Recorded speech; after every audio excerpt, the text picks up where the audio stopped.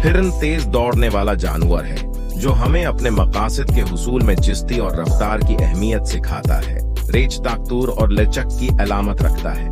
वो हमें चैलेंजों का सामना करते हुए खड़े होने की याद दिलाता है।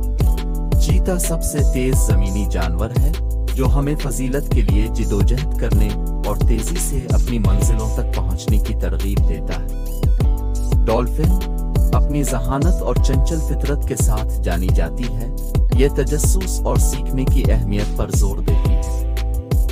हाथी, जो कि अपनी हिकमत और मज़बूत समाजी बंधनों के लिए मशहूर है, हमें बरादरी और इल्म की कदर सिखाता है। लूमड़ी एक होशियार और मुआफ़त पजीर जानवर है, जो हमें वसाइल रखने और मुख्तलिफ़ हालात में तख्लीकी अंदाज में सोचने की तरगीब देती है।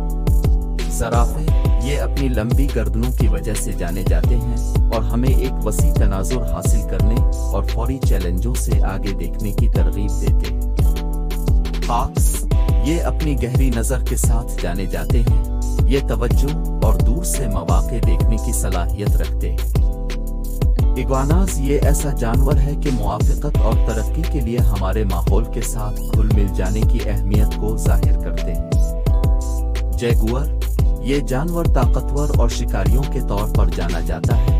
ये हमें अपने अजाइम और अहदाफ को हासिल करने में जरूरतमंद रहने की याद दिलाते कोआला जो अपने पुरसकून रवैये के लिए मशहूर है और हमारी जिंदगियों में सुकून के लम्हा तलाश करने की अहमियत को उजागर करते शेर, ये जानवर जंगल के बादशाहों के तौर पर जाना जाता है।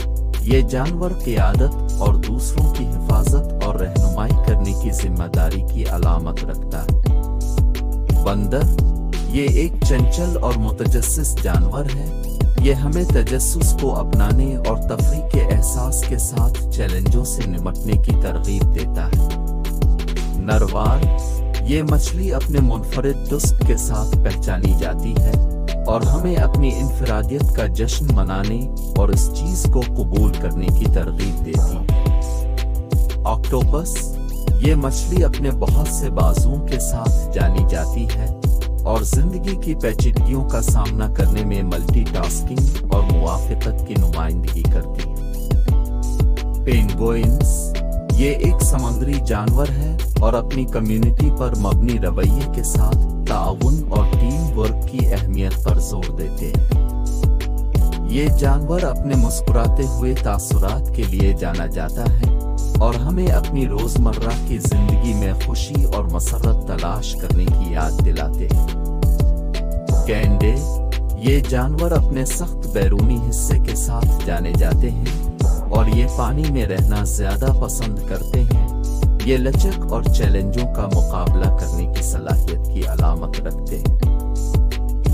समुद्री कछुए, जो अपनी लंबी उम्र के लिए मशहूर हैं हमें तवील मुद्दती अहदाफ के हसूल में सब्र और बर्दाश्त की कदर सिखाते हैं। टाइगर्स ये जानवर अपनी ताकत और खूबसूरती के साथ जाने जाते हैं और ये अपना शिकार करने में बहुत महारत रखते हैं। उनको जंगल का शहजादा भी कहा जाता है। ये अपनी ज़िंदगी बहुत मज़े से गुजारते हैं।